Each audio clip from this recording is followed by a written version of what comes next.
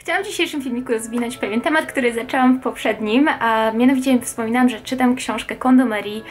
na temat, ja się wyraziłam, sprzątania mieszkania, ale tak na dobrą sprawę to jest książka na temat organizacji naszego mieszkania, a dokładniej podejmowania decyzji, które rzeczy w naszym domu powinniśmy zatrzymać, a których powinniśmy się pozbyć. Żyjemy w czasach, gdzie tak łatwo jest akumulować dużo, dużo więcej rzeczy niż potrzebujemy, zakupy online, zakupy wszędzie, promocje i tak dalej, co sezon coś nowego, więc bardzo, bardzo łatwo jest nabyć dużo więcej przedmiotów niż na dobrą sprawę potrzebujemy, więc potrzebujemy też systemu, który pozwoli nam odfiltrować, które z tych przedmiotów, w które zainwestowaliśmy, powinny z nami zostać, a które przedmioty należy się ich pozbyć, na przykład donować je e, lub po prostu wyrzucić. I e, w związku z tym jest cały rynek różnych poradników oferujących różne, przeróżne systemy i podejścia do właśnie tego filtrowania naszych, e, naszych rzeczy i podejmowania decyzji o tym, co zostawić, a czego się pozbyć. I wiele z tych systemów jest takich bardzo, bardzo racjonalnych. Mamy wziąć rzecz e, przyjrzeć się jej i odpowiedzieć sobie na pytania, czy korzystam z tego, czy e, ma to wartość, czy to jest narzędzie, czy to jest użyteczne i tak dalej, i tak. Zadajemy sobie masę e, różnych pytań, analizujemy każdą rzecz z osobna i podejmujemy decyzję o tym właśnie, co sobie zostawić, a czego się pozbyć właśnie często na bazie użyteczności owej rzeczy. E, Kondo Marie w swojej książce proponuje system, który przewraca to wszystko na głowę, bo Kondo Marie mówi, weź każdą rzecz w ręce i zapytaj siebie, czy ta rzecz sprawia mi radość. Jeżeli sprawia Ci radość, jeżeli wywołuje ciepłe uczucia w Twoim sercu, taką rzecz powinieneś sobie zostawić. I wiem od razu, że ten, to brzmi jak kompletne szaleństwo, bo na przykład e, czy mamy mieć odczucia wobec każdej rzeczy w naszym domu, czy mamy mieć, nie wiem, ciepłe odczucia wobec e, miotły czy ścierki. E, odpowiada na to, że tak, że wobec rzeczy, które nam służą, których używamy, na przykład właśnie wobec miotły czy ścierki powinniśmy odczuwać pewien, pewną dozę wdzięczności za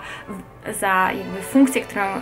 te rzeczy, za pracę, którą te rzeczy wykonują dla nas, także powinniśmy również praktykować e, wdzięczność wobec przedmiotów, którymi się otaczamy i jej metoda właśnie do tego się sprowadza, że powinniśmy zachować w swoim stanie posiadania rzeczy, e, które wywołują w nas pozytywne uczucia, tudzież przez samą naturę swoich rzeczy, że właśnie wywołują te pozytywne uczucia, tudzież poprzez praktykę wdzięczności wobec tych rzeczy za ich posługę wobec nas. I wiem, że ta metoda brzmi jak kompletne, kompletne szaleństwo, ale moim zdaniem w tym szaleństwie jest metoda. I pozwólcie, że rozwinę tutaj o co mi chodzi i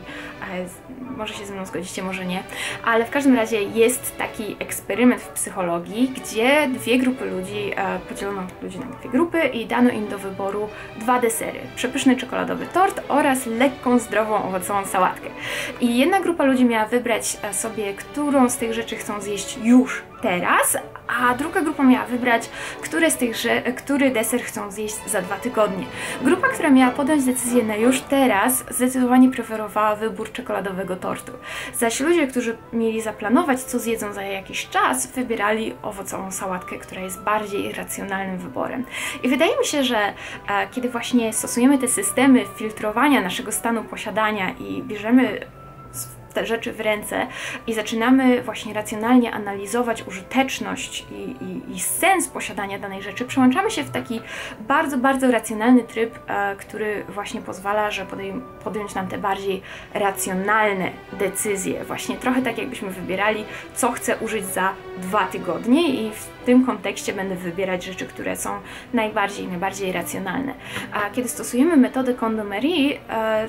Pozbywamy się tej racjonalności i zdajemy się bardziej na intuicję. Pytamy nasze serce, czy, czy lubię ten przedmiot, czy chcę z nim chodzić w interakcję, czy chcę go zachować. Um, I moim zdaniem zdanie się na intuicję w przypadku rzeczy użytkowych ma jak najbardziej sens, ponieważ idąc przez swój dzień, nie do końca mamy czas wszystko kalkulować i zaprzęgać naszą silną wolę do zrobienia czegoś, co może nie płynie e, z naszego serca. Kiedy zaś e, zdajemy się na swoją intuicję i słuchamy swojego serca, te decyzje przychodzą bardzo szybko, bardzo łatwo. Dam tutaj taki przykład, na przykład możemy zakupić sobie piękną bluzkę czy sukienkę, która jest modna, w której dobrze wyglądamy, w której wszyscy będą nam prawić komplementy, ale jeżeli my nie lubimy tego ciuch, ciucha, nie czujemy się w nim komfortowo, nie lubimy go nosić, to rano budząc się, zaspane, podchodząc do szafy, nigdy po niego nie sięgniemy. Żeby po niego sięgnąć, potrzebna jest nam właśnie ta racjonalność, potrzebna jest nasza silna wola i wtedy możemy jakby zmusić się do e, zrobienia czegoś, co może nie płynie z naszej intuicji. I ten tryb racjonalny, ten właśnie tryb, który korzysta z naszej silnej woli, e, wymaga czasu, wymaga energii i jest i szybko się zużywa. Im więcej takich decyzji podej podejmujemy w ciągu dnia, im więcej robimy tych właśnie takich rzeczy, na które może nie do końca mamy ochotę, ale wiemy, że mają sens, tym szybciej dopada nas znużenie. Kiedy zaś polegamy na swojej intuicji i robimy po prostu rzeczy tak, jak podpowiada nam nasze serce, te decyzje przychodzą nam łatwo i nie zużywają tej naszej wewnętrznej energii. I wydaje mi się, że Kondo Marii sugerując, żebyśmy otoczyli się przede wszystkim przedmiotami, które właśnie bez problemu sięgamy, na temat których używania nie musimy za dużo myśleć, w pewnym sensie oszczędzamy naszą mentalną energię, naszą właśnie siłę woli, naszą siłę racjonalnej kalkulacji i możemy ją zużyć na coś innego. I moim zdaniem to jest doskonały pomysł. I szczerze mówiąc, po przeczytaniu tej książki zaczęłam się mocno zastanawiać na temat tego, jak ja planuję swój dzień, że wiele zadań, które sobie przypisuję w ciągu dnia, które chcę zrealizować, mają sens w sensie takim bardzo logicznym i kalkulacyjnym, racjonalnym, ale to nie są rzeczy, na które na dobrą sprawę mam ochotę. Zaś kiedy zaplanuję swój dzień według rzeczy, e, które sprawiają mi radość, które moje serce e, wita z e, absolutnym entuzjazmem, wtedy bardzo łatwo jest mi zrealizować różne zadania w ciągu dnia. I często jest tak, że jeżeli właśnie jestem w stanie przekonać siebie, że różne zadania, które sobie postawiłam, sprawią mi radość, wtedy je wykonam, zaś jeżeli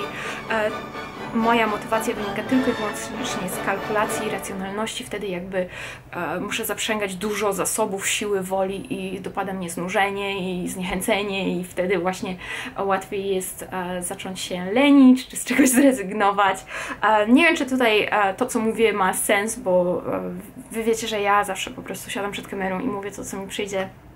do głowy, ale mam, mam nadzieję, że rozumiecie o co mi tutaj chodzi, że tak jak właśnie z tym podchodzeniem do szafy, że jeżeli w szafie mamy tylko rzeczy, które lubimy, w których czujemy się komfortowo, wybranie dla siebie stroju nie sprawi nam problemu, tak samo w życiu, jeżeli czy w ciągu dnia, jeżeli mamy zaplanowane głównie rzeczy, które sprawiają nam radość, które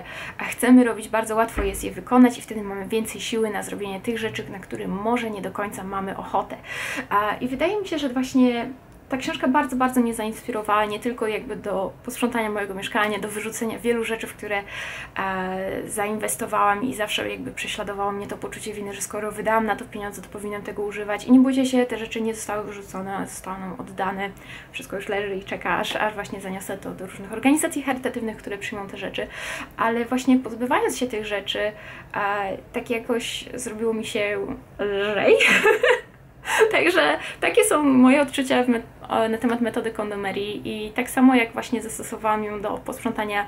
mojego mieszkania, tak samo zaczęłam bardziej krytycznie przyglądać się różnym moim aspiracjom w ciągu dnia i jak chciałam sobie dzień zorganizować i zaczęłam usuwać z niego rzeczy, na które de facto nie mam ochoty i może mają sens racjonalnie, ale jeżeli nie sprawiają mi radości, to po co mam się zmuszać, żeby je robić, jeżeli ta wartość netto radości po prostu nie wychodzi na plus. Także takie są moje myśli w tym temacie. Jestem bardzo ciekawa, co Wy macie do powiedzenia a właśnie w tych tematach, czy, czy stosujecie jakiś system organizacji domu, czy, na czym polegacie, żeby zorganizować swój dzień, czy swoje otoczenie. Dajcie mi znać, zawsze jesteście dla mnie ogromnym źródłem inspiracji i jestem pewna, że tym razem też dowie, dowiem się od Was dużo ciekawych rzeczy, ale na chwilę obecną to jest tyle, co ja mam do powiedzenia i teraz liczę na Was. Do zobaczenia wkrótce. Pa!